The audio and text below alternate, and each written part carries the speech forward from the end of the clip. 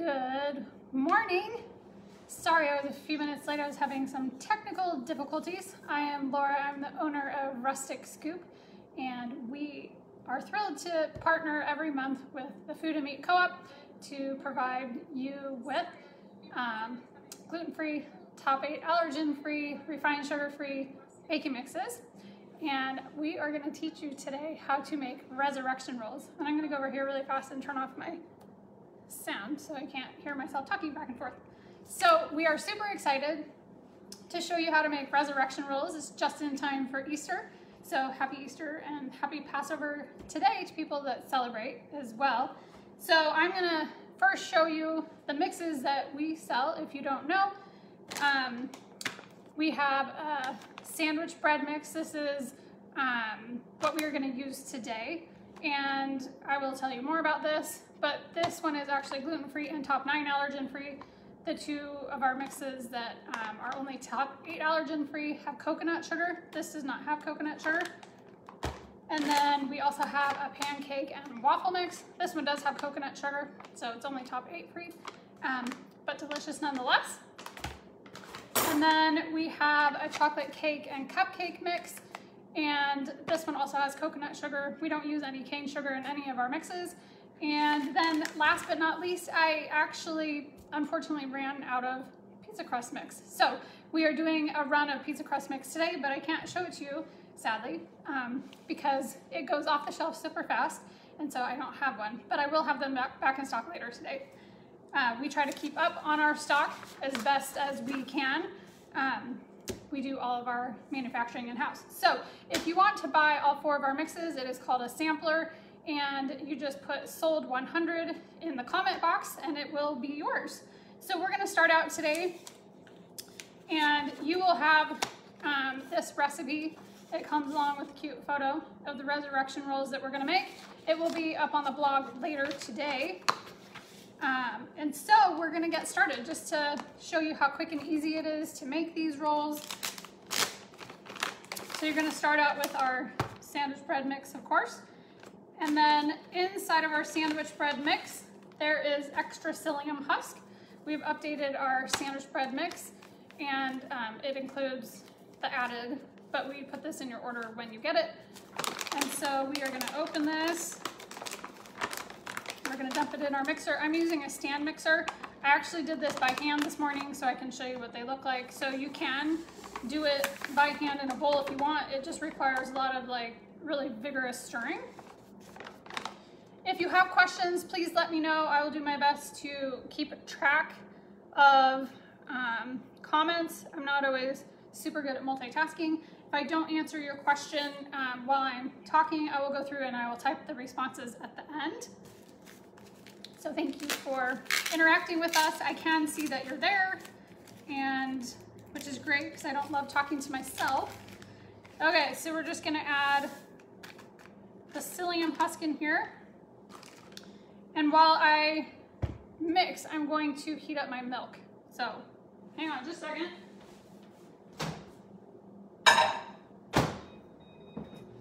Okay, I'm just microwaving it so it's warm so it will rise well. So now you're gonna add in one tablespoon of yeast. If you don't use yeast regularly, I suggest that when your milk is warm, that you put your yeast in your milk for five minutes and let it get bubbly just so you know that it is active. If it does not get bubbly and foamy on the top from the yeast, it is not alive and you wanna start over again. But I use yeast almost daily and so I know mine works so I just stick it in with the dry. If you're in my boat and you use it and you know it's um, good yeast, go ahead and just stick it in your dry mix. And then we're gonna add one tablespoon of sweetener Again, we don't use cane sugar, so I'm using coconut sugar. You could use honey, or you could use maple syrup or cane sugar. Um, whatever floats your boat is totally fine with us. Yeast isn't picky. The point of it is to help the yeast be active and start to feed on it so your rolls will rise.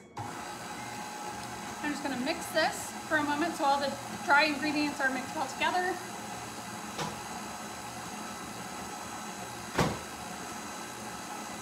So I have one and three quarters uh, cup of coconut milk.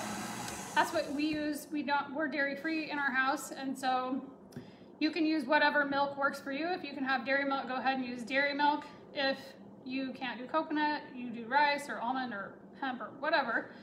Whatever works for you is totally fine. It's not picky. It just needs to be um, warm but not hot. I do it for about one minute in my microwave. I also added the butter that is called for, so it is melty as well. So we are going to now add that in here.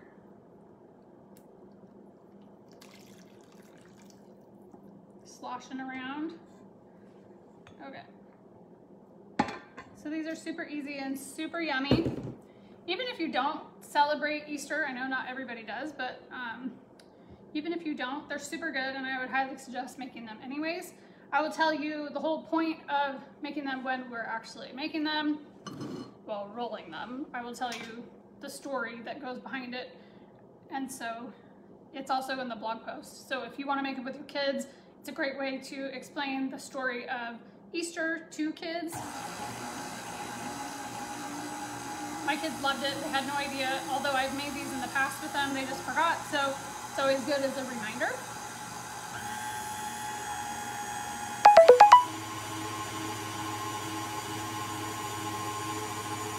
Want to make sure that it gets really well mixed. At first it's going to seem really sloppy, um, but trust me, it thickens up.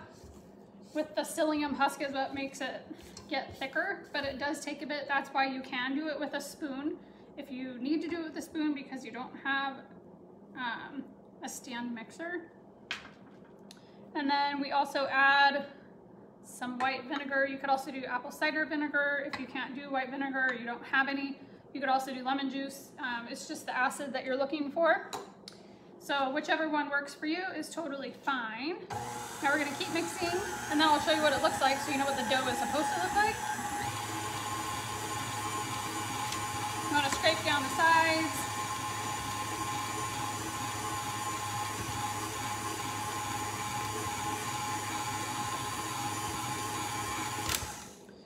Okay, so I will show you what this looks like after I scrape. So you can see it's thick, right? It was sloppy, now it's thick, um, but it should not be dry. Um, most of us that are watching, you live in Utah. Um, it is dry here, so if you need to add an extra tablespoon or two, that's fine. Don't add more than that, you won't need it. But certainly start with um, the recommended amount. For people that do not live in Utah, um, if you live in dry climate, again, you might need a tablespoon or two extra, but always start with what we write in the recipe. And we try to give you as many tips as we can on our website under all of our product pages.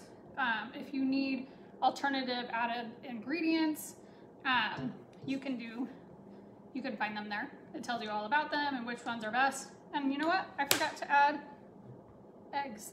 So, egg whites.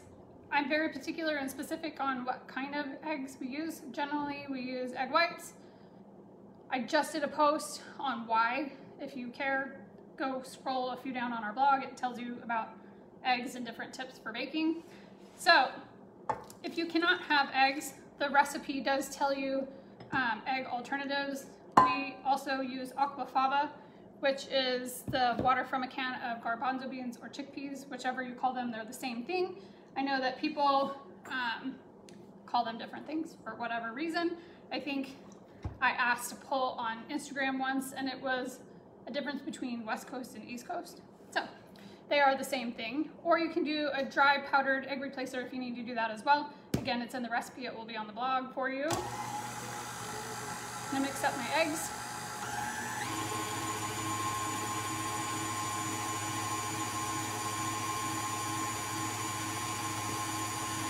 You want to scrape down.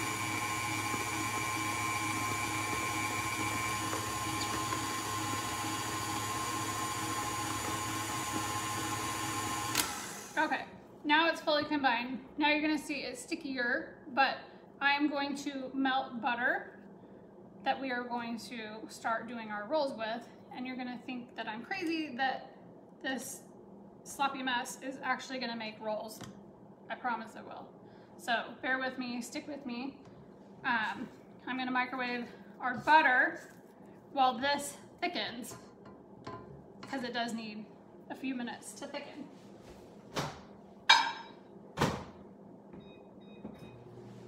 So while my butter is um, melting, you also want to make a cinnamon and sugar mix. It is a one to four ratio.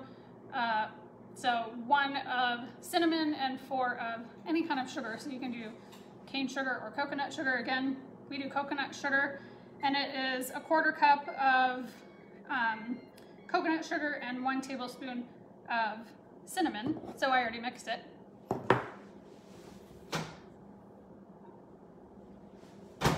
here is my melted butter. We use vegan butter, butter because again, we don't have dairy, we don't use dairy in our house um, for allergy purposes. There are lots of great options for vegan butter. We use Earth Balance if you're also soy free. Um, they have a red tub that is soy free. Their yellow tubs are not soy free. So just keep that in mind if you need a vegan or dairy free butter. Okay, so you can see what this looks like right now. It's thickening up, but still probably not quite ready to be rolled, which is fine. Um, I'm gonna move my mixer out of the way here. And while these do have a couple of steps to make them, they're super easy as you can see, but it's great for telling the story of Easter. Whether you do that with adults or you do that with children, it doesn't matter. I just think it's super fun um, and just such a great way to tell the Easter story. I'm a visual, hands-on learner, and so this is just right up my alley. So you're gonna wanna scoop. Um, I use a large scoop. It's approximately a third of a cup. Um, and I just am going to drop balls like that on parchment paper lined baking sheet. And I'm not gonna do all of them because it'll take too much time, but you're just gonna put all 12. This recipe makes 12 rolls and you're gonna just continue to scoop and roll. And then um, I'll make the rest of these later. But I want to be able to show you and tell you the story of Easter, if you don't mind. Okay, so you have your dough Again, it's a little sticky at this point, but you have other things to do too. So the representation, you use a marshmallow. Now, if you can't have, uh, if you're vegan, Dandies has, I believe they're vegan marshmallow, or you don't want to use these because you don't like them. These are just regular marshmallows. Um, Dandies makes a great allergen friendly uh, marshmallow. And then I also have a marshmallow recipe on our blog. You can just type in marshmallow at the top of our website in the search box, and I have a marshmallow recipe for you there. Um, they're refined, sugar-free, um, vegan, all the whole nine yards. Anyways, so if you want to make your own, they're really easy, and you can. But for simplicity, I'm just using a store-bought one. And so this, um, the marshmallow represents Jesus, and it's white, like he was pure, um, sinless, not stained, not blemished. And so the, um, the marshmallow represents Jesus in our little food experiment here. And then we will, in a moment, take, this is butter, and you will dip the butter in the, the marshmallow in the butter. And it is how, um, after Jesus died, they anointed his body with oil. So the butter represents the oil. And then after you dip in the butter, you're gonna roll Jesus or your marshmallow um, covered with butter or anointing oil. And then you're gonna roll it in um, the cinnamon and sugar, which represents the spices that they also put on his body before they buried him. And then the dough here, see it's getting, it's a better consistency now. Um, but the dough represents the, um, the cloth that they wrapped Jesus's body in. And so we'll show you, super cute. So you just wanna flatten with your hand. You can see you want it a little thicker here in the middle um, because when you're gonna pull the edges up to the top, and if um, it's too thick on the edges, then you're gonna have a really thick um, dough on the top. Well, it really will become the bottom.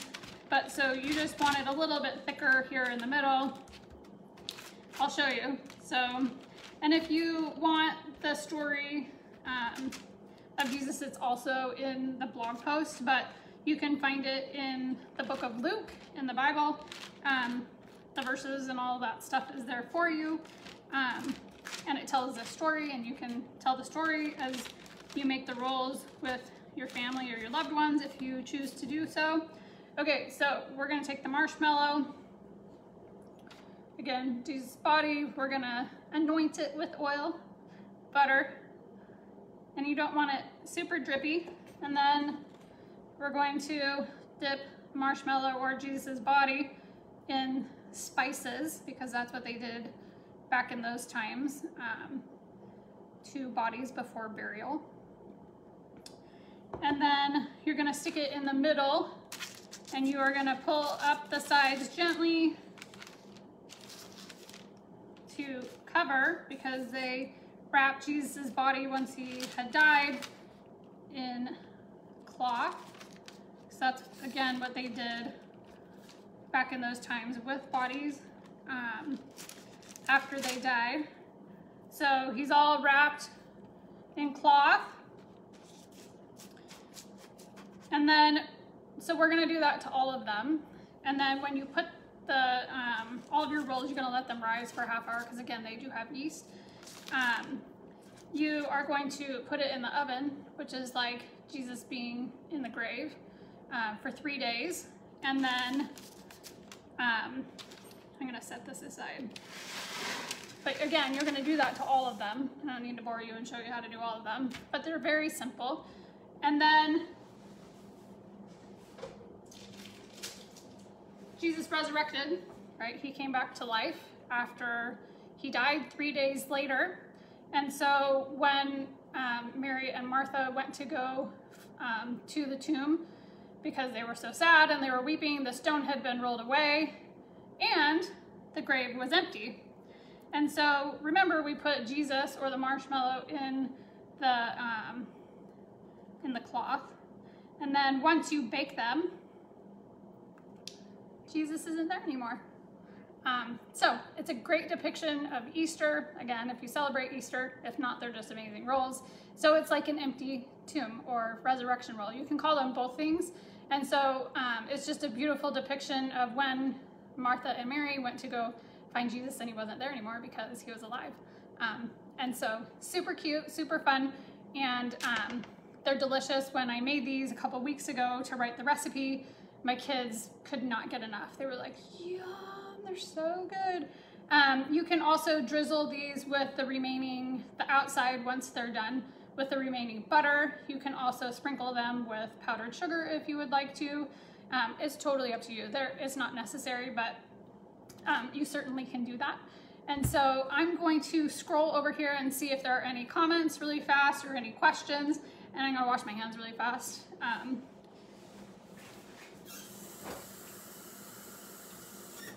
I always forget I really should have a wet rag because I get my hands dirty every time I do this. So maybe one day I'll learn. Um, so let me, again, if you wanna buy all four of our mixes, it's called a sampler.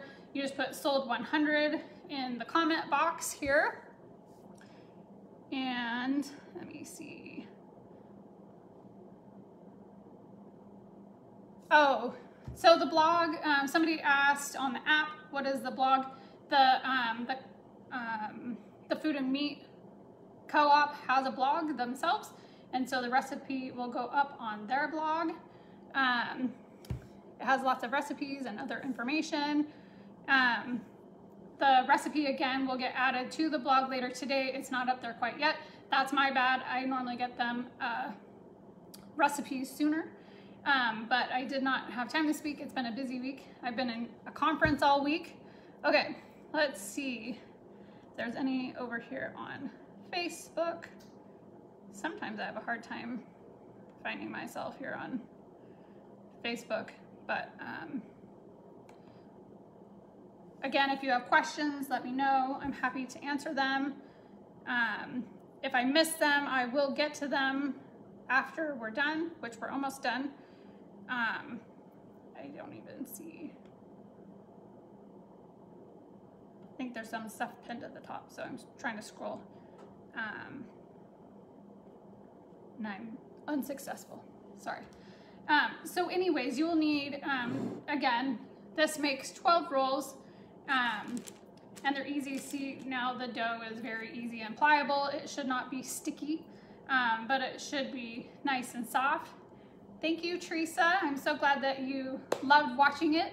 Um, it is super neat. It's a, um, it's a super neat way just to tell the story of Easter, um, if you want to do that and if you enjoy doing that, um, which we do um, in our family. So they, my kids thought it was really um, cool and it's just a great visual example. And, um, and of course, the reason we celebrate is because the grave is empty. So super fun. Thank you for joining us. This will be posted um, on their YouTube channel as well, the live, and it will remain up on Facebook. And so um, you can always go back and watch it or send other people to watch it if you want other people to watch it. Again, we're super thankful. Thank you for joining us, and we look forward to making these yourself.